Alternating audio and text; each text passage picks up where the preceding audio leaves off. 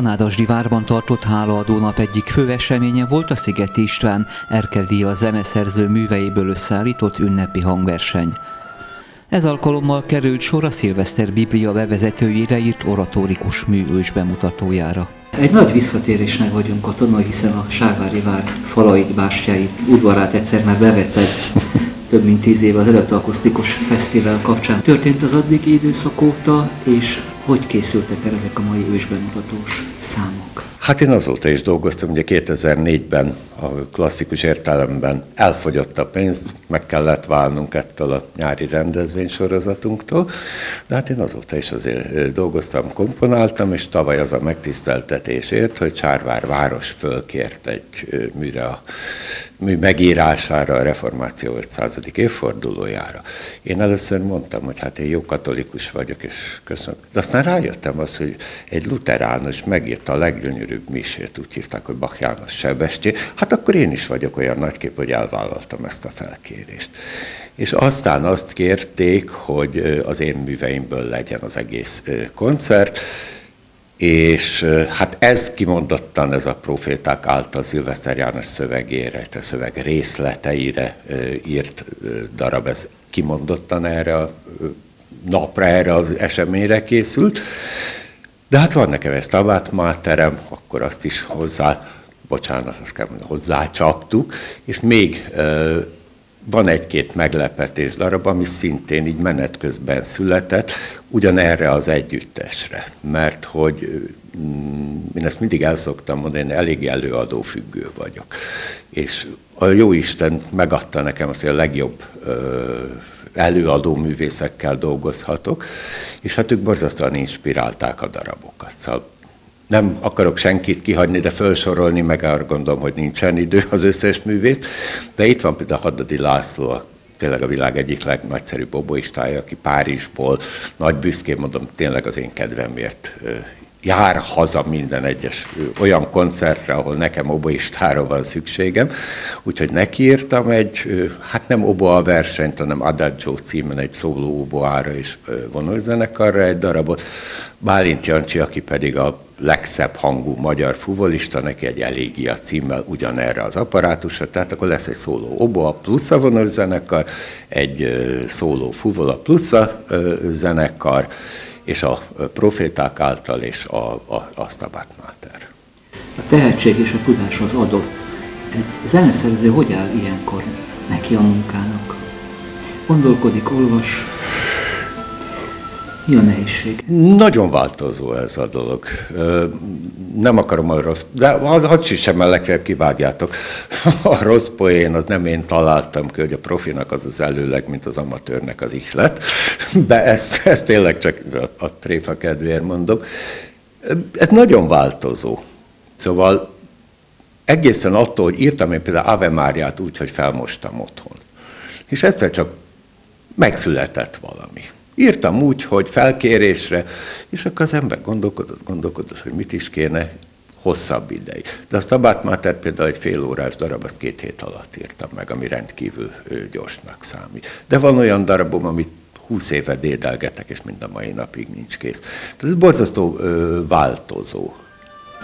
Ilyenkor maga a szöveg, vagy, a, vagy a, a, az alapanyag mennyire válik a sajátoddá? Nem is profétek által, hanem a profi által. Mit üzen a mai előadás? Egy nagyon-nagyon jót tanultam, nekem nagyon kedves tanárom volt, zeneszerzés tanárom Szokolai Sándor, és ő mondta azt mindig, hogy én úgy zenésítek meg egy verset, hogy megtanulom kívülről, majd elfelejtem. És ez egy nagyon jó közelítés, ugyanis azok a rossz meg, vers megzenésítések, ami a vers zenéjét adja vissza, hiszen egy költő a zenét is ír egyben. Mondjuk, ha, ha már vasban vagyunk, akkor mondjam azt, hogy Vörös Sándornak összes verse csupa muzsika. Vörös Sándort megzenésíteni nagyon nehéz, viszont állítom, hogy nincs olyan magyar zeneszerző, aki még nem nyújt volna hozzá nem, azt a rezümét, amit kelt az emberben egy, egy vers, én, a, én nekem ez a hozzáállásom, hogy azt próbálom ö, visszaadni zenében. Ez esetben a szöveg túl hosszú volt, hogy megtanuld meg, hogy el is felejts. Mik azok a momentumok, amik mentén kialakult a hangzás, a hangolat, a tónusváltások talán? Én próbáltam valami puritán zenét írni, tehát gyakorlatilag kamarazenekarról van szó, tehát csak vonósok és, és két fúvola, egy oba és fagottot használok amivel lehetett volna még kvázi színesíteni, ugye trombiták, harsonák, stb. stb. Erről én szándékosan lemondtam. Tehát egyfajta puritanitás ö, működött bennem gyakorlatilag a, a, a megírás közben. A másik pedig az, hogy ez a szöveg, hát az egész ö, verset, már ugye tudjuk, hogy az első Disztihomban írt magyar vers, Szilveszter János gyönyörű szövege, az egészet megzenésíteni, az, az hosszú lett volna. Tehát én kiválasztottam belőle bizonyos részeket, és ebből hát kvázi összeállítottam saját magam számára egyfajta librettót, viszont annyira szép a nyelvezete, hogy ezt is megpróbáltam valahogy megfogalmazni. Nehéz erről úgy beszélni, mert nincsenek ilyen adekvát megfelelések szöveg és zene között, de valami ilyesmi munkált bennem. Ezt is egyébként rendkívül gyorsan megírtam. Szóval ilyen ö, előre soha nem dolgoztam. Én mindig határidő előtt szok, adjatok határidőt, az, az, az, az segít. Mindig utolsó pillanatban készültem el minden, ez pedig már egy éve kész van ez a darab például. A sárvári emlékek, az itteni ennek a nagyon jó akusztikájuk is térnek a a hangzásai, hangemlékei segítettek a komponáláskor, vagy felidéztek valami sárvári emlékeket, ötleteket? Abszolút, én egészen pontosan emlékszem már a napra, meg a hónapra nem, de 1982 óta járok Sárvárra, én akkor barátkoztam össze Markó Péterrel, Kondarepistával, és én mindig itthon éreztem magam Sárváról. Szóval egy picit, jól lehet, én nem vagyok Sárvári, nem vagyok Vasmegyei, de én mindig itthon éreztem magam. Szóval olyan, mintha hazajöttem volna egy kicsit. A várnak a, a, a tere, és egyben az akusztikája, az pedig az első pillanatban megragadott. Úgyhogy biztos, hogy volt ebben is, vagy ebben is volt, vagy ennek is volt szerepe a, a dologban. Amikor nekiülsz dolgozni, akkor egy halomkotta, összegyűjt kottapapír, vagy egy csomó törölt internetes fájl keveredik. Hogy dolgozol? Mi a, a fizikai megjelenése a, a gondolatnak? Én most már számítógéppel dolgozom, ennek több haszna van. Egyrészt már gyorsabban tudok írni számítógéppel, mint kézzel, a másik pedig az előadók nagyon hálásak, mert az én kézírásom eléggé randa volt, és azt mondták, hogy lehetne olyan kottát, amit el is lehet olvasni. Na most ezt el lehet olvasni. De hát aztán ezt most már rájöttem, hogy a digitális világnak ugye van egy hátulütője, hogy nem lesz lenyomata, tehát dolgok elvesznek, tehát mindent ki is nyomtatok rögtön, és elteszek. És egy időben az egyik kutyám az nagyon jó kritikusom volt, egy pár kottámat széttépte, és valószínűleg neki volt igaza, úgyhogy azok nem értek semmit. Ő eldöntötte. Amikor a, készül a, a libretto, a, a, a szöveg, a, a zene, akkor mennyire hagyod az előadó művészeket szabadon, mennyire fogod a kezüket, mennyire igénylik esetedben, hogy azt megértsék, amit te át akarsz adni? Én mindig elmondom, hogy én halott szerző szeretnék lenni, és az előadók ezt szeretik, úgyhogy a halott szerző nem beszél már bele, hogy ők mit csinálnak. Én nem, én, van a szerző, aki minden hangér ott van, és, és mindig szól, hogy ezt így, úgy, amúgy. Én nagyon bízom az előadókban. Szóval, amit én leírok a kottában, én úgy érzem, hogy ez egyfajta közlekedés kettőnk, vagy sokunk és köztem, hogy hiszen oda van írva, azt tessék értelmezni. És ilyenkor jön a gondolta a fenep, mert néha ők olyan jó dolgokat csinálnak, sokkal jobb dolgokat csinálnak, mint amit én, uram, bocsánat, esetleg elképzeltem. Én ilyenkor nagyon hálás vagyok. Tehát a jó előadóval dolgozni, és én nagyon elkényeztetett ember vagyok, tényleg a lehető legjobb előadókkal dolgoztam eddig életem során. Én nagyon bízom bennük, és, és hálás vagyok azért, hogy megszólaltatják a darabjaimat. Mikor készül elő? Amikor a tapsot hallod, vagy amikor már a, a, a próbák során kialakul, hogy készen van? Mennyire formálódik, akár még ma is mondjuk három óráig a bemutatóig? Ez is az előadók dolga. Ők, ők még mindig kitalálnak hangzásokat, próbálnak, tisztogatnak. Én például nem, soha nem írok át darabot. Ha egyszer elkészült, akkor én a kettős vonalat meghúzom, számomra onnantól az a darab befejeződött. Hiszen abban a pillanatban jobbat nem tudtam írni. Utólag javítgatni az már egy... Én nem, van ilyen szerző, aki sokszor átírja, én nem, akkor inkább írok egy másikat.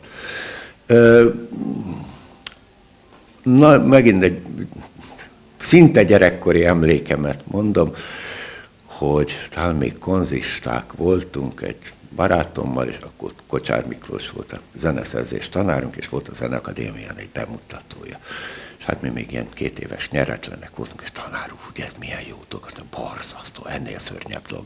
És akkor mondta, hülye nagy képű, most mi azóta tudom, nincs. Szóval az ember, és ez a furcsaság, ugye az előbb dicsérem az előadókat, most meg azt kell mondanom, ugyanis soha nem azt fogod visszahallani, amit te elképzeltél. És ez egy szenvedés. Te ott izgulsz végig a, a, az előadókkal, míg hallgatod a saját darabot, és neked már nincs hozzá jogod, tehát ki vagy szolgáltatva az előadónak. Ami egyrésztről, az előbb ugye mondtam, hogy egyrésztről nagyon jó, másik részről pedig elviselhetetlen. Ez egy olyan, bocsánat, azért még ez egy olyan érdekes, hogy ugye a gyerekszülésre szokták azt mondani, hogy amikor az anyuka megszüli a, a, a babát, akkor jön a, a, a bébi bánat. Ez ugyanilyen dolog a komponálással is. Szóval én, én írni szeretem. Nem, ez is lehet, hogy nagyképű hangzik, bocsánat, nem hallgatni szeretem a saját darabját, írni. Az a, ki, az a kihívás, az a, az, a, az a játék, az a munka, amikor az anyaggal az ember ö, dolgozik, és az anyag időnként visszaüt, és akkor nekem azt le kell győzni, vagy rá kell jönnöm, hogy olyan rossz anyagot írtam, hogy az anyag nem hagyja magát. Tehát az így izgalmas. Amikor befejezem a művet, akkor ugyanilyen bébi bánat. Szóval akkor olyan céltalanná válik öt percre az életem. Amikor mondjuk kinyomtatják elkészülő, amikor mondjuk egyszer elhangzik, mennyire van igényed, hogy ezek hangzóanyagokon is megmaradjanak? Egyáltalán a zeneszerzőknek milyen lehetősége van, hogy így is örökül hagyják egy-egy lenyomatát egy adott pillanatnak? Hát ez egy borzasztó érdekes dolog, mert e, ebből a szempontból is az elkényeztetett szerzők közé tartozom. Nem egy CD-m jelent már meg a Hungaroton kiadásába, de gyakorlatilag a CD mára már halott dolog. Tehát én például már nem törekszem arra, hogy CD-n jelenjen meg, mert egy, a kutya nem vásárolja meg. Szóval az nagyon jó hangzik, hogy nekem ennyi meg ilyen szép CD-n van. Fölteszem a polcra, aztán úgyis elajándékozom, a saját CD-imből már soha nem marad. Most a YouTube az, az izgat engem, ami egy egyszerű dolog, hogy ott tehát a koncertjeinket általában megpróbáljuk fölvenni, és ha olyan minőségűre sikerült egy előadás, akkor ott terjeszted. Szóval ez, ez egyfajta újabb közösség, tulajdonképpen az egész világgal tetszik. Kicsit előremutató kérdés, hány hotelidőd van mostanában? Mostanában éppen, várjál csak, most nincs. Nincs. De olyan van, hogy koncertre fogunk próbálni, tehát a, a, az év az már betelt, tehát júniusban, szeptemberben, augusztusban lesznek ö, koncertjeink, de arra már kész vagyok a darabokkal, úgyhogy most hátradőlhetek. Amíg hátradőlsz, olyan nincs, hogy szolgálni feladat? Amit csak úgy önállóan. De, vannak. de, de, de, ezek de, milyen, de, milyen de, de, de. Milyen, milyen, milyen Ami jön. Nem tudom. Az, az mindig változó. Az ember minden evő a fogazata szerint, de szerint. Én igen, én igen. Nem, ö, az érdekesség az, hogy az ember 20 éves koratáján, ha nem forradal már, akkor ott tette meg a fenn, akkor szerintem ezt a szakmát abba kell hagyni. Szóval akkor föl kell robbantani a világot, akkor egész más hangzásokat kell csinálni, és az ember aztán ugye eljut 60 felé, meg 60-on túl, akkor megszelidül. Tehát én most már például az akusztikus hangszerekre sokkal harmonikusabb zenéket írok, mint fiatal koromban. De Ugyanakkor ott van nekem az elektroakusztikus zene, amivel nem hagytam föl. És azt szoktam mondani, ott kiélhetem az őrületemet, ha úgy tetszik. Szóval egy egész másfajta hangzásvilággal ö, dolgozom. Abban például nem tudom, ezt elmondhatom, mert nekem rengeteg mániám van, ugye már koromból fakadóan. Én, nekem az a ö, régi mániám, hogy a zene az kezd tönkre menni. A zene és a közönség kapcsolata kezd tönkre menni. Ugye a középkorban, még a Gregoriánra gondolok, vagy még a, a, még a, a, a kora reneszánszra, főként templomi zenék szóltak, ugye a karzatról. A, te, a közönség tudta, hogy miről volt szó, de ott nem hajlongtak művészek előtte, tehát nem volt vizuális élmény, csak egy akusztikus élménye.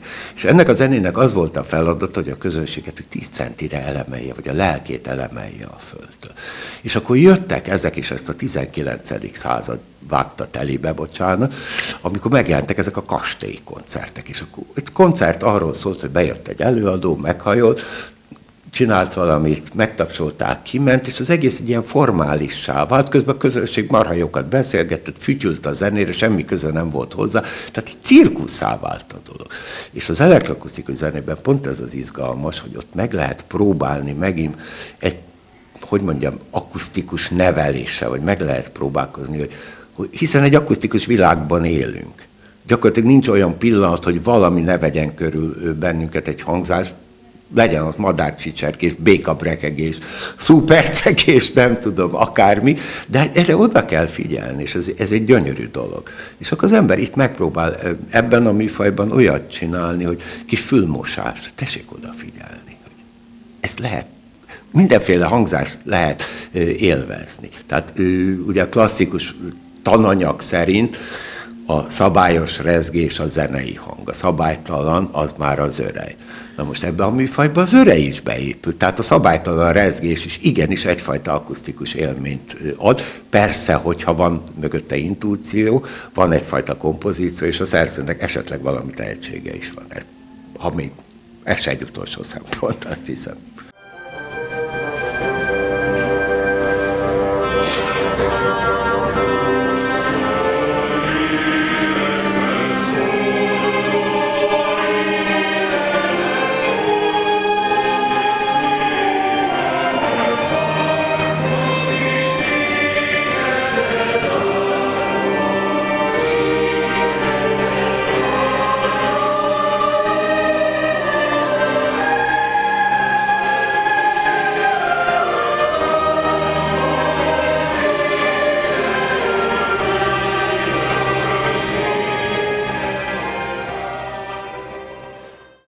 Evangélikus hálaadó nap keretében mutatták be Szilveszter János új testamentumának hasonmás kiadását.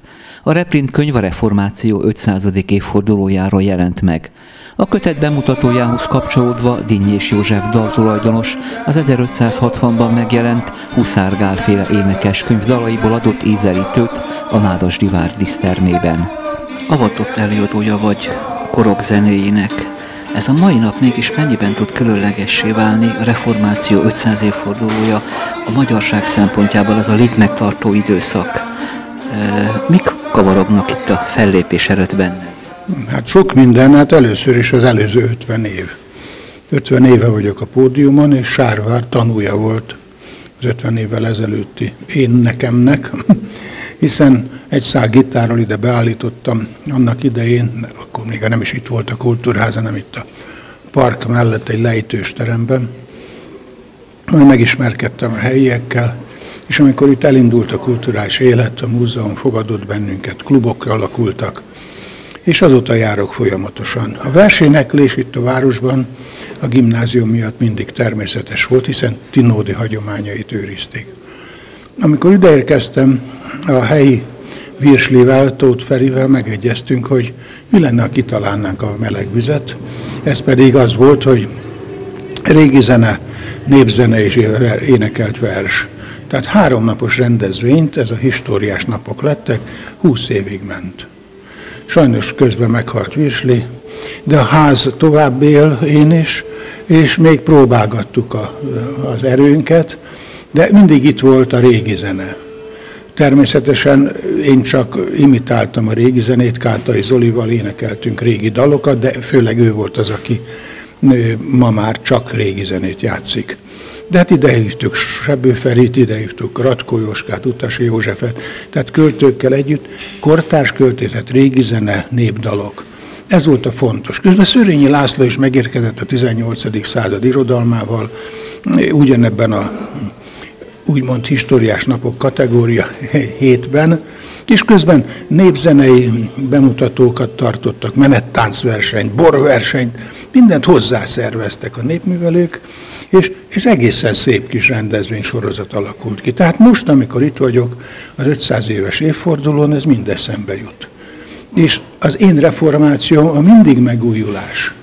Tehát mindig újat hozni, valamit kitalálni. Mindig mondták, a dinnyés nem fog soha megöregedni, mindig kitalál valamit.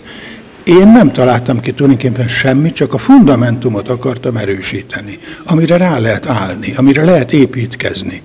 És az én építkezésem az, hogy a magyar kultúrának azokat a arany tégláit gyűjtögessem, amiből lehet egy aranyfalat építeni, amin keresztül csillogó jövőt lehet látni. Hát így jutottam el Huszár Gálhoz, akinek a, az énekes könyvét 1560-ban jelent meg. Rendbe hoztam, már amennyit le, rendbe tudtam belőle hozni, megjelentettem könyvben, CD-n, és most már több mint 50 koncerten volt belőle. Most is tartok ebből egy kis bemutatót, hogy mégis milyen ízű ez a valami, ez a, ez a talpig magyar zene, talpig magyar költészet és evangéliumot hirdető magyar költészet, ami előtte soha nem volt. Voltak katolikus népénekek mindig, amelyet Kodály Zoltán, Rajecki Benyámi fölgyűjtöttek, és, és meg tudják mutatni, hogy volt ilyen, de ez megint más. Itt a magyar nemzet napi sorsáról beszélnek a kortás költők, amiről a mai kortás költők ugyanúgy beszélnek a mai helyzetről, mint az akkori kortás költők, már Huszár évszámokban számolva. És ez a, ez a kettősség, ami azonos, ez jelenti nekem azt, a, azt az aranytéglát, amiből építettem a fundamentum falait. Nem csak műveket találsz, hanem előadókat. Kárpály Zolit is te hívtad Budapestre, Korzár. Nagyon sokan köszönhetik neked a, a karrierjük indulását, de mégis egyfajta magányos előadó vagy, nem is magányos, egyfős, egyfajta világkép. Hogy zajlik ebben a világképben a saját eligazodásod önmagadhoz? Semmi baj, hát Kárpátaljáról a Krédo együttes, vagy a Kővirág együttes Marosvásárhéről, vagy Márk Attila. Mondhatnék sajnos sok nevet, de Óbecséről a Szerdalaciék. Nagyon sok-sok barátom van, akit szeretek odahívni, ahol én is vagyok, mert ők más csinálnak, kiegészítek azt, amit én tudok, vagy amit én tudok, azt ők egészítik. Szóval ez nagyon fontos így. De az, hogy én egyedül vagyok, az, az nem jelent semmit, ez nem baj mert így el vagyok magamban, nem vitatkozunk olyan nagyon sokat. Gázsimat is kifizettem saját magamnak.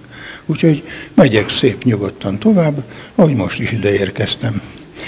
Az a nehéz az egészben, hogy hogy az, akinek értékelnie kellene ezt, mondjuk egy kritikus nemzedéket nem sikerült fölnevelni.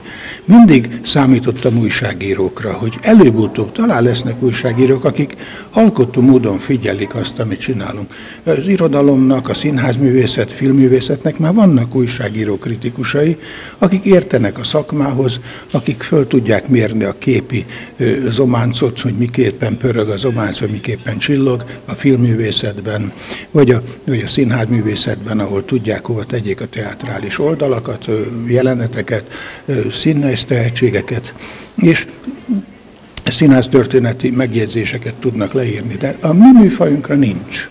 Mert az, hogy ki, ki kire hasonlít, azt képes megírni bárki, az nem kell újságíró tehetség. Tehát az, hogy már nincsen Csatamás, akkor azt mondjuk, hogy hát akkor most nincsen Tamás. De mit hozott? Milyen értékeket hozott? Milyen, milyen értékeket lehetne értékesíteni ebből, tovább vinni ebből? Mi az a stílus, ami, ami miatt ezek a jegyek értékesek? Senki nem mondta ki. Mi zenészek tudjuk, hogy miért szerettük Tamásnak a dolgait. Nekem nagyon sok barátom van, akiknek el tudok játszani Cseh Tamás gondolatmenet típusú dallamkompozíciókat, hogy ez a Cseh Tamás. Hát, hogyha meg akarod fogni, akkor innét kezdjed. De, de hát ennek sok értelme nincs, mert nem vagyok újságíró, és nem vagyok kritikus. 500 év után a te küldetésed nagyon nem lehetetlen? börtönpasztorációk, tehát ami falakat, ezek nem aranyfalak, ezek nagyon, nagyon meredek és, és göcsörtös mászású utak. Hogy éled ezt az 500 év utáni küldetést? Egyáltalán van-e még küldetés? Nem küldetés, ez feladat. Feladat. Az, hogy, hogy a megbocsátás és a, és a, a, és a kegyelem mekkora kincs. Hát egy fogvatartott bűnöző, aki ítélettel, már földi bírói ítélettel ott van a börtönben, és mondom neki, a megbocsátás és a kegyelem az óriási nagy dolog. Persze a kegyelem, hazaengednek. Nem, mondom, az a kegyelem, hogy az, akit te megsértettél, az bocsásson meg neked. És te bocsáss meg neki. Mi rendezünk olyan találkozókat börtönben, nagyon kevés sikerül, amikor a sértett és a bűnöző találkozzon. Hogy beszéljék meg, hogy, hogy mi történt. Nem, tehát nem a gyilkos és az áldozat, mert azt nyilván egyértelmű, hogy nem tud találkozni, de egy rabló, aki kirabolt, vagy tönkretett egy lakásrészt, vagy egy házrészt, vagy megvert valakit, és az kórházba került. És ezt meg kéne beszélni. Hogy, hogy, hogy hogyan, bocsánat, nem, a bűnöző nehezebben akar találkozni a sértettel. És, és ez, ez megdöbbent. Ez olyan társadalmi háttér, amit, amit, amit a társadalom hibája okozott abban a bűnözőben. Ha a társadalom nem lenne ekkora bűnöző, mármint a társadalmi rendszer, akkor a bűnöző sem lenne olyan bűnöző, ami enné vált. Mert a bűnöző a, a társadalom tükre. Mert a hatalom sem ad mm, feloldozást állampolgárainak. Én hamarabb kapok földszólítás az OTP-től, mint hogy letelne a, a, a részletnek a kifizetése. Még van három év a, a befizetésig, és már felszólítást kapok, hogy miért nem fizetek. Hát majd három év volt telik le, addigra ki fogom fizetni. Nem, ő ezt nem érti, ami szóval nagyon nagy bajok vannak. A régi magyar törvény úgy szól, hogy ameddig le nem telik a határidő, addig be kell fizetni, az kész. De hát magyar törvények nincsenek magyar földön. De ez csak egy, egy, egy, csak egy kritika a hatalom és az állampolgár viszonyáról. Na de hát ezeket nem hirdethetem, hogy ez hiba. A, a, a, amit hirdetni kell, az a megbocsátás és a kegyelem. Számodra vannak korszakok. Most éppen milyen korszakod van? Hogy érzed most magad ebben a mindenféle kultúrában, antikultúrában? Mindenkem mindig egyforma korszakon van. Szóval nincs, mindig a kritika. Mindig a kritika és mindig a protestálás volt az én alapállásom. Ami, ami nagyon fontos ellenben, hogy a tanítás nehogy kikerüljön soha a sodrásból. Mert ha nem tanítok közben azzal, hogy kritizálok, akkor sölösleges kritizálni. A kritikát csak úgy szabad elmondani, hogyha közben tanítok is, hogy ez a levert karó, ehhez kell igazodni, ez a tanítás része. Hogy hogyan kerüled meg ezt a karót, vagy hogyan tünteted el, az meg a kritika. Egy kicsit visszatérve egy a beszélgetés végén Sárvárra, hogy készülsz az 51. 52. fellépésre? Ilyenkor mindig valami kis helyi emlék segít, vagy ilyenkor már teljes az átszellés, amit az az akkori szöveg diktál? Hát most nagy gondba vagyok, mert ugye két régi ismerősre találkoztam összesen, Markó Péterrel, meg a polgármesterrel. Ők még közös, közük van a, a, ehhez a házhoz, de a többiekkel nem találkoztam. Most elsétáltam a, a református lelkészhez, aki, a, mikor tégláról téglára rakták a református templomot, én akkor havonta, két havonta jöttem és segítettem neki, hát hogyan? Úgy, hogy énekeltem a gyülekezetnek, gyülekezeti terembe is, és a gyülekezet épült, szerveződött. Hát én alapítottam a kórusokat, akik már meg is feledkeztek arról, hogy én alapítottam őket. Én tanítgattam őket énekelni, hogy énekeljetek együtt valamit, ezt, azt. Aztán jött a, aki sípol, mármint furujával viszi őket, már föllépni járnak más gyülekezetekbe. Na, szóval, de most nem volt itt senki, mert ugye és az itteni alkalom délelőtt náluk is Isten tisztelet volt, keresztelő volt, de hát most így itt is vége lett az alkalomnak, ott is, hát átsétáltam hozzá. De egyetlen ismerős volt ott, csak a lelkész. Mi lesz a vége, azt nem tudom. Mit visznek haza az emberek, nem tudom, hiszen én csak annyit tudok hazavinni, amennyi most így elmeséltem. Támadjunk fel testben azért a bűnből, mely miatt kirekesztettünk a nagy dicsőségből.